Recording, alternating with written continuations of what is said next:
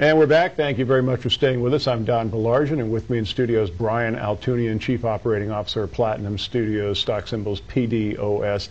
And I, I, can't believe you're probably about nine feet off the ground right now because uh, this was the week that you got a chance to look at what we call the director's cut right. of uh, Dead of Night. Right. Uh, what was that like?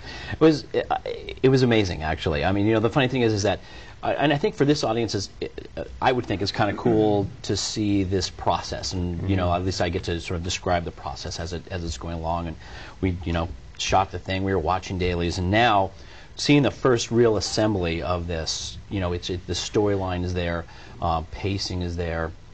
Really nice to see uh, not only our, our, our main actors who all really phenomenal. Brandon Brandon Routh really captured the essence of this main character, Dylan Dog. But the you know the the I don't call them the secondary characters, but the you know the the, the supporting cast, mm-hmm. Taye Diggs and Peter Stormare, and Kurt Angle from the uh, from the uh, Worldwide Wrestling Federation, and those guys were so big. It was really, I mean, when they were on screen, their presence is so big, and to see it up on a uh, up on a big screen, even without the music and without the special effects, so I'm better than I anticipated. Really, it be very exciting. So uh, this is like, I guess, the next big step in the process. Obviously, you've got to do the principal photography, and you got you got that out of the way. And now there's, you know, the the the, the basic editing has been done, and now you get to the point where you know what you want to do with it. You're going to finish it off, add the music, add the special effects. I mean, this has got to be the most exciting part. It's it's almost like getting ready to have a child. Yeah, it's it's funny because it's like that is exactly it. You know, every step you take, there's a there's a there's preparation. And You look at the what's immediately in front of you, like, oh my gosh, we've got a you know 35 uh, sh uh, shoot day schedule, and how are we going to cover that? Well, now that that's done, okay, we've got this you know 10 week uh, edit period, so you know that becomes the next big thing every step seems to be a major, you know, sort of a major hurdle, but a major progression.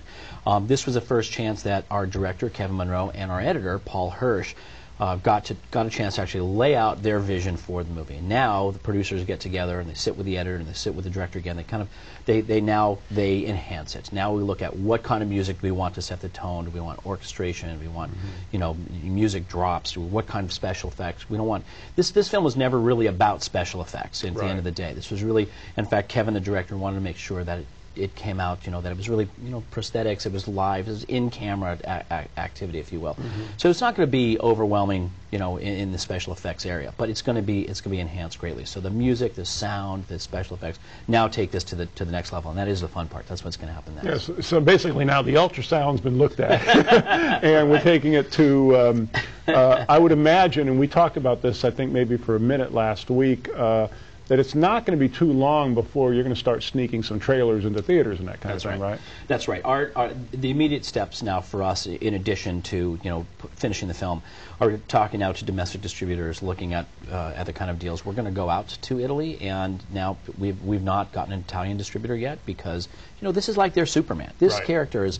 I'll give you an example, uh, Don, of how popular this character is. And we did a licensing deal with a company uh, in Italy. We've done a number of licensing deals. We did a license a license licensing deal with a company that makes cigarette lighters, if you can believe, and they sell five packs of cigarette lighters. In three and a half months, they've sold 1.2 million units of cigarette lighters with Dylan Dog's picture on it. Wow. I mean, that's how popular this character is. So we're going to be between the uh, U.S. domestic distributor and now an Italian distributor. You know, that's that's really the next step for us, lining those up. We deliver this around Jan mid-January. Um, it's possible if we have a domestic distributor, we could see this in theaters in the spring. Although more more likely than not, it will be fall of next year. Okay. We don't want to be in the middle of that big summer rush. Right, right. Um, we want to we want it to stand out. So it looks like spring of next year or, or, or fall at the very latest. But we're already starting to see a lot of activity. Very uh, amazing process. It's been so exciting to watch this progress. Again, Platinum Studios, stock symbols PDOS. Uh, Brian, always a pleasure. Thank you, Don.